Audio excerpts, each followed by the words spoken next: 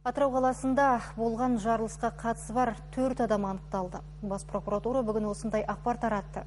Облыстық прокуратура жанындағы жарылыстан бір адам мерт болды. Ол 1987 жылы туған Атырау қаласының тұрғыны Бауыржан Сұлтанғалиев. Сонымен қатар жарылысқа қатысы бар деген күдікпен Мейрамбек Ұсабеков, Михрат Қалқаманов және Әлімжан Сағенов есімді азаматтар қамауға алынды. Олар лаңкестік қылмысты толық мойындады. Бұл жарылыстарға Джунжат Аль-Халифат жауынгерлер атты лаңкестік топтың қатысы бар екендігі анықталып отыр. Тергеу амалдар көрсеткендей, лаңкестік топ 2009 жылы жихад идеялары оның ішінде Солтүстік Кавказда қайтыс болған экстремистік өттеуші Сайд Бурятскийдің ықпалымен құрылғандығы белгілі болды.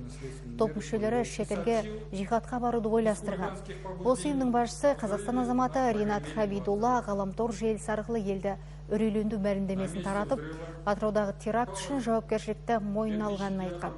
Қазір елдегі жағдай құқық қорғау органдарының толық бақылауына алынды. Для расследования. Атыраудағы жарылыстарға джун аль халифат яғни халифат жауынгерлері ұйымының қатысы барын тергеудің растайтындығын хабарлаймыз.